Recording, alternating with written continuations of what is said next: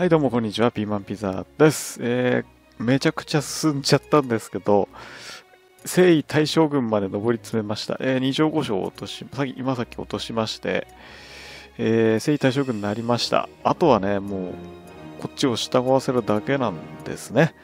え、もう一歩ですね。はい。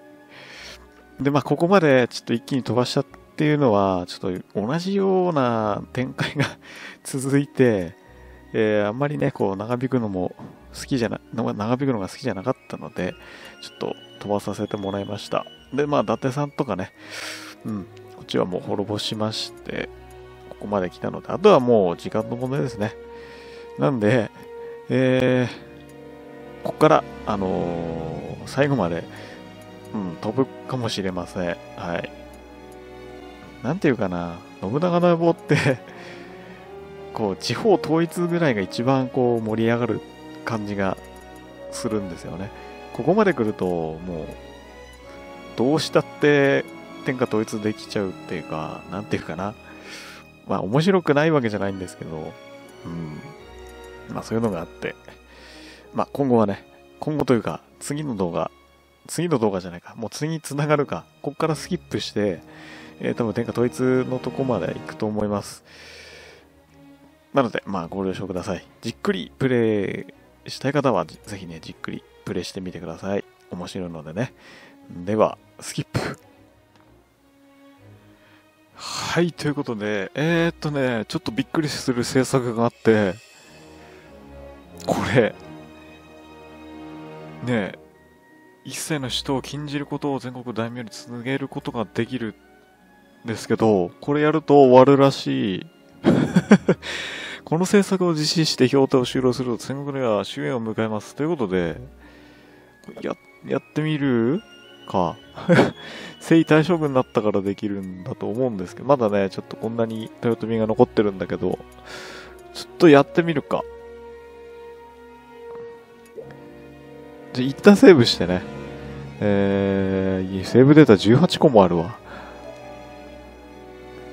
あのー、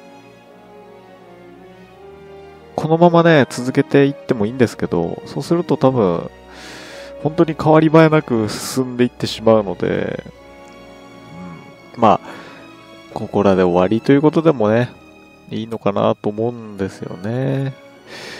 えー、皆さんプレイする際は、えー、まあ、こうやってね、途中で終わらせる。途中で終わらせるっていうかもう、実質天下取ったということなんで、えー、終わってもいいし、もう徹底的に敵を潰していくっていうスタイルでも いいと思いますしね。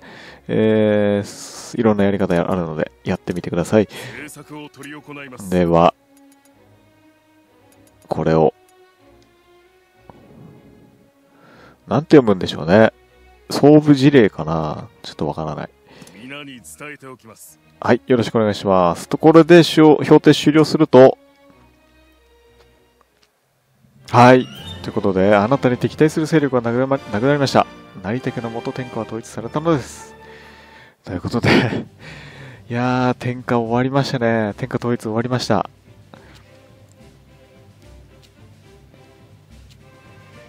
いやー、長かっ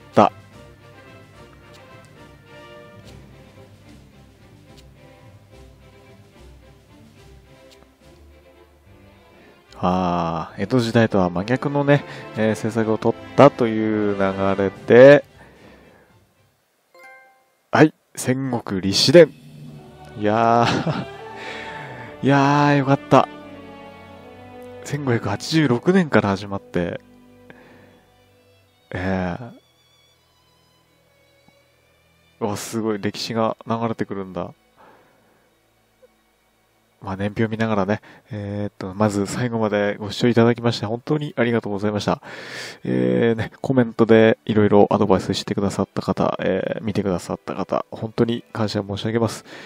えー、まあ、豊臣とかね、ちょっと残ってたんですけど、まあ一応これで天下統一ということで、えー、海姫での、クリアをしたということで終わりたいと思います。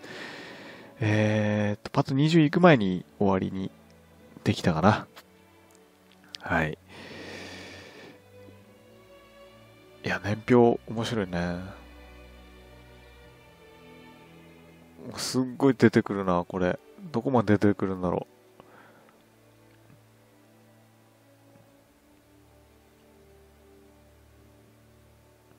えー、っと、10年経って、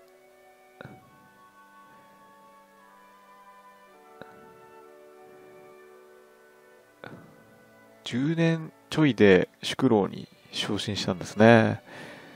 うん。えー、ね、ちょっと、まあ、振り返ると本当に至らないことばかりで、あのー、ちょっとね、もやもや見てて、こう、もやもやした方も多くいらっしゃるかなと思うんですけども、えー、皆さんのおかげでクリアで、クリア、天下統一することができました。本当に、本当にありがとうございます。えー、今後はですね、もともとあの FPS が大好きでゲーム、うん、してて、まあ実況もね、FPS 中心にやっていこうかなと思ってたんですけども、えー、なかなかね、こう、興味あるゲームがたくさん出てきて、まあ、この信長の野望もその一つなんですけども、えー、いろいろね、えー、やってきましたが、今後は FPS を中心に、あ、ちょっとフレンドがオンラインだったけども、まあ、彼なら許してくれるでしょう。えー、話を戻して FPS 中心にね、えー、やっていきたいと思います。えー、よければ、えー、このままね、えー、ピザゲームチャンネルを楽しんでいただけたら幸いです。重ね重ねですが、最後まで本当にご視聴ありがとうございました。ではまた違うゲームでお会いしましょう。さよなら。